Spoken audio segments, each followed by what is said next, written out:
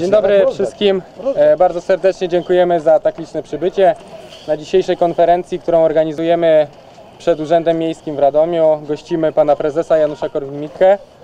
E, Konferencja jest zorganizowana w związku e, z ostatnim doniesieniem pana prezydenta Andrzeja Kosztowniaka do prokuratury na mój temat. Pewnie Państwo słyszeli, pan Andrzej Kosztowniak zawezwał mnie, znaczy pozwał mnie do, do, do prokuratury jako przestępcę, już mnie skazał. E, wniosek do prokuratury brzmi, że zawiadamia o popełnieniu przestępstwa, oczywiście czym mnie pomawia. E, na takie zachowanie się nie godzimy. Jeżeli można mówić e, e, o popełnieniu przestępstwa, to dopiero wtedy, gdy e, sąd e, skaże winnego. Natomiast e, w tym wypadku nie mamy jeszcze wyroku sądu, nawet jeszcze prokuratura tym, tą sprawą się nie zajęła. Już pomijam fakt, że wniosek powinien być skierowany do sądu lub e, po prostu pan prezydent powinien pójść na policję z taką informacją, a nie wysyłać do prokuratury zawiadomieniu o popełnieniu przestępstwa.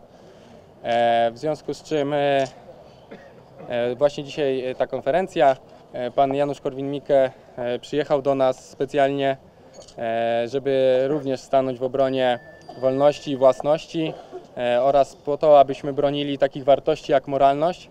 Jak możemy mówić e, o moralności, e, gdy w Radomiu kilkadziesiąt tysięcy ludzi żyje na skraju ubóstwa, E, To są ludzie, którzy mają przeżyć często za 300 zł miesięcznie. To są, ja chciałbym zapytać pana prezydenta, co chce powiedzieć tym ludziom, którzy właśnie nie, nie są w stanie e, wygospodarować pieniędzy na jedzenie. E, No, oddaję głos panu e, przewodniczącemu. Proszę E, Państwa, mm, przede wszystkim to oczywiście nie chodzi o to, o pozwanie przez Pana Prezydenta, tylko pozwanie Pana Prezydenta o pomawianie ludzi o, o popełnienie przestępstwa. To jest jakaś zupełna bezczelność. Yy, mieszkańcy Radomia pragną się dowiedzieć, jak to były, jakie były umowy pozawierane z, z tymi spółkami i mają prawo to wiedzieć, ma być jakaś przejrzystość. Jak nie, to się odwołamy do Try- Trybunału w Luksemburgu, ale to musi być ujawnione. Jest to wbrew wszelkim przepisom, żeby nie ujawniać zawieranych umów, z kim trzeba wiedzieć, na ile, czy były przetargi, prawda? To wszystko trzeba wyjaśnić. Natomiast tak ogólnie muszę powiedzieć, że tak się wydaje, że skala korupcji w samorządach jest mniejsza niż w państwie całym, bo tam są duże afery, prawda? Ale jak się policzy wszystkie orliki, to w sumie razem tam jest większa afera niż na jednym stadionie narodowym, prawda? Bo to tak się wydaje, są mniejsze afery, ale jak to wszystko dodać, to tu w samorządach się kradnie ogromne pieniądze. Ja akurat nie mówię, że tu nie jest jeszcze- udowodnione nic w Radomiu, prawda? Ale jest dziwne, że miasto odmawia ujawnienia, z kim zawarło umowy, na jakich warunkach i tak. To jest niedopuszczalne i będziemy się starali o ujawnienie tego wszystkiego.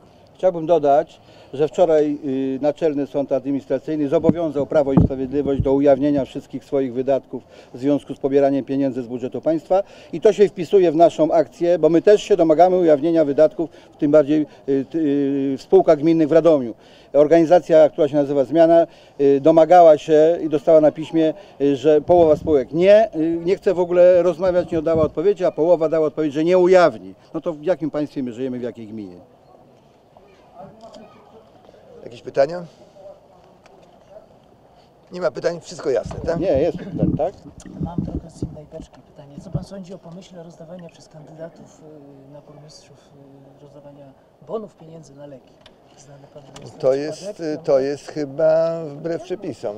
Nie, nie wolno tego robić. Ale pana kandydat rozdawał takie bony w piątek. Bony rozdawał na, na Bony ten. na leki. Ja mówię, chyba, ch- ale, ale co, co to jest bon na leki? Bo ja nawet nie wiem, co jest bon, bon Panie na leki. Januszu, więc chodzi o to, że ten człowiek, nasz kandydat na, kandy- na burmistrza w Pionkach y, jest przewodniczącym Fundacji imienia, Ja- imienia Jana Pawła Tak. II i on zgodnie z prawem, rozmawiałem z nim wczoraj na ten temat, rozdał bony na leki dla biednych Pionkach. Tyle. A co, co to są bony na leki?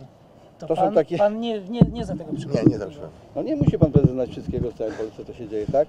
Proszę jeszcze, kto jeszcze na ten temat może powiedzieć tutaj panu, E, pani Te pieniążki na te, na te bony pochodziły ze zbiórki publicznej, także to nie były, nie były żadne partyjne pieniążki, jego Absolutnie. pieniążki, ani nic. Nie miało to związku, Nic. w związku z kampanią wyborczą. Absolutnie tak nie więc, miało. Takie są słowa. Bo sprawa ma się zainteresować PKW. No to jest taka korupcja No wyborcza. to proszę bardzo, no to od tego jest, od tego jest PKW, niech to wyjaśni.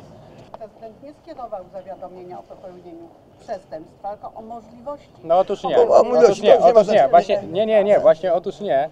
Tu, tu na tym polega problem, no. Pan To nie ma żadnego znaczenia. To, nie ma żadnego znaczenia, Ma- ma Krystianie. To kierują y, zapowiedziane przez będzie skierowany, tak. W sprawie... O e, pomówieniu, o pomówieniu. przestępstwo, no to już. Pomówienie przez co? Przez pana prezydenta mnie. Przez kogo? Ale przez co? Znaczy nie przez to, tylko o co? No jak, jak będzie pomówienie, to już pani dostanie w mailu. Wszystkie media się o, o tym dowiedzą. Dobrze, no. Przewodniczący, czy w świetle istniejących obecnie przepisów prawa nowa prawica będzie mogła spełniać skutecznie swoje rządy po wygraniu tych wyborów? No mam, mam nadzieję, że wygra.